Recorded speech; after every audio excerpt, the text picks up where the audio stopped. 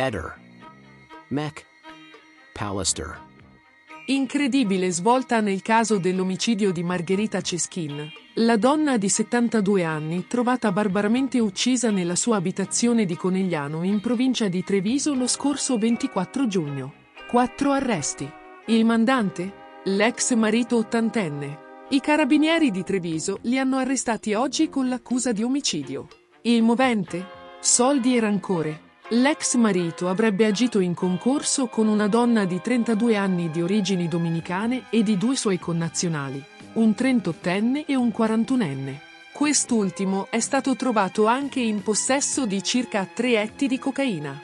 Alla base del crimine vi sarebbero gli accesi attriti tra i coniugi.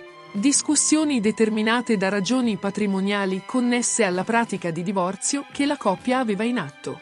Le investigazioni erano da subito state avviate seguendo due piste come ipotesi, in modo parallelo. Una, che all'origine della tragica vicenda vi fosse un'incursione predatoria nell'abitazione della donna, la seconda, che la morte della Ceschin fosse l'epilogo di un nefasto progetto maturato nell'ambito amicale o familiare della donna. La complessa attività tecnica ha consentito di avvalorare la seconda pista, configurare un grave, univoco e circostanziato quadro indiziario a carico degli indagati.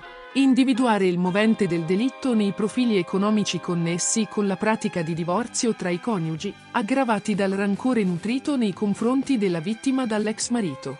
I quattro fermati sono stati rintracciati nel Trevigiano e non hanno opposto resistenza. Ora si trovano presso le case circondariali di Treviso e Venezia. Ehi, non dimenticare di iscriverti a questo canale.